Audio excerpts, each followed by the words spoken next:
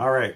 Hello, everybody. Welcome to another video from AA Sports Cards.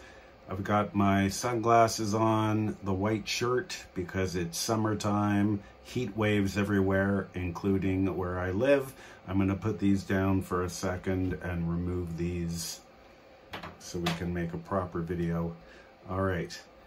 Uh, I am taking advantage of the nice weather, to, you know, always working hard here at Sports Cards, but making sure I get out and enjoy the summer. I hope everybody watching this is as well. However, today I combined business and pleasure and met a, a local consigner who gives us cards all the time. Uh, met him down uh, in a very nice area, taking advantage of the nice weather, and he gave me some cards you're going to see on eBay uh, very shortly under our user ID Vahoota.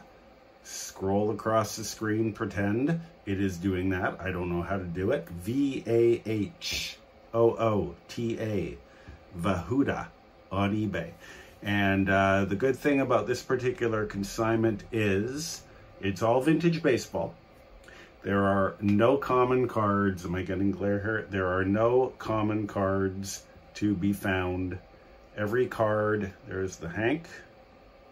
Every card is a star of varying degrees, but there are no commons. And there's some very, very nice rookie cards I'm going to show at the end of this video. So again,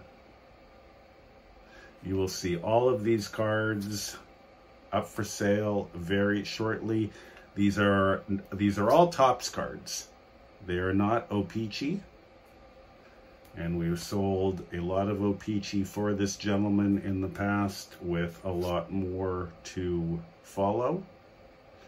I know this gentleman has, for example, a 1965 O-Pee-Chee baseball set, which I hope one day he'll want us to sell for him. But in the meantime, very happy to get these today.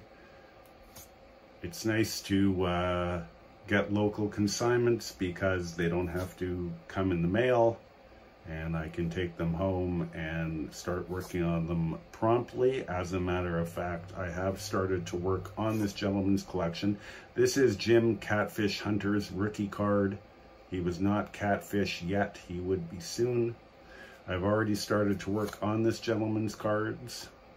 They're in very decent shape, mostly X, X plus, and he acquired all of these back in the early 70s. He is a, a long time astute and advanced collector. It's an honor that he chose AA Sports Cards to help him sell his collection. I don't have a Yogiism, but I do have his card from 1964. Getting to the end, Ed Mathews, classy, classy Hall of Famer.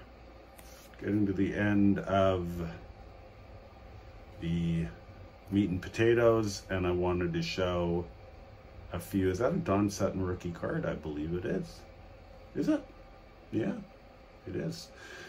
These are the key cards in the group, and uh, we'll start with the oldest. There is a 1965 Topps Steve Carlton rookie card.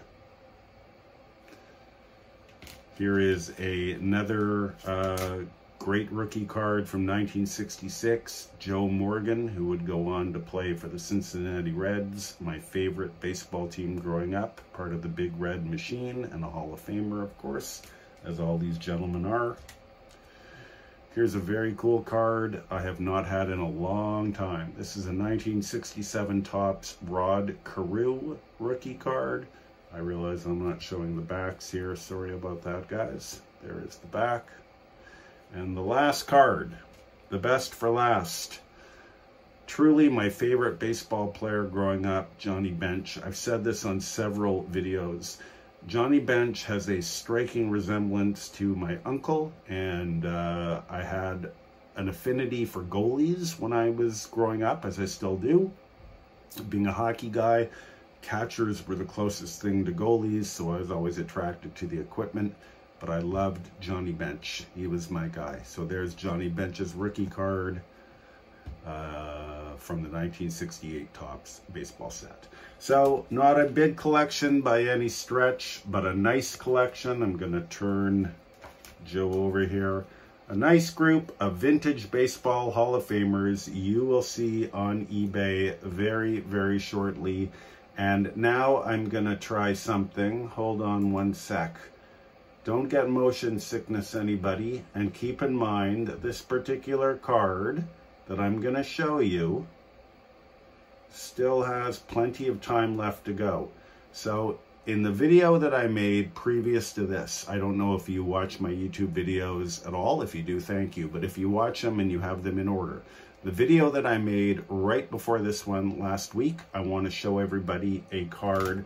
I'm going to remove my camera, okay? Don't get sick, everybody. Okay, I'm going to turn this around. Am I able to turn this around? I'm not able to turn this around. Why am I not able to turn this around? Well, I can't turn this around. So we'll wait for the next video, but what I wanted to show was a, a Pavel Bure card that I had um, put in the last video from the Cup from 2012. I'm looking at it right now. It's at $485, 19 bids so far with four days left and uh, I'm pleasantly surprised. It's numbered out of 35. It's doing very, very well for that consigner. So uh, next time I will show that video because I can't seem to do it here. Thank you for watching, everybody. And Johnny and the rest of this baseball collection will and I will see you very soon with more videos to come. Thanks for watching, everybody. Have a nice summer, and we'll be back soon.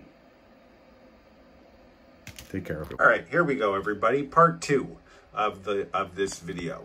So this is the Pavel Bure card that I was talking about, and it is uh, in part of the last video we made. As you can see, we've got four days and three hours or so left to go. Lots of time in the bidding. We are already at $485 for our consigner. Uh, this card is performing really, really well, and uh, it'll be lots of fun to watch where this uh, this card ends up. So just wanted to put a little amendum, amendum, amendum to this video. Uh, thanks for watching, everybody, and again, we will see you soon with more videos. Take care, everyone. All the best. Please consign if you reside across Canada. Vintage, high-end, modern, as you can see we do it all and those are that's another lot currently that we're running and that's it okay guys see you soon thanks everybody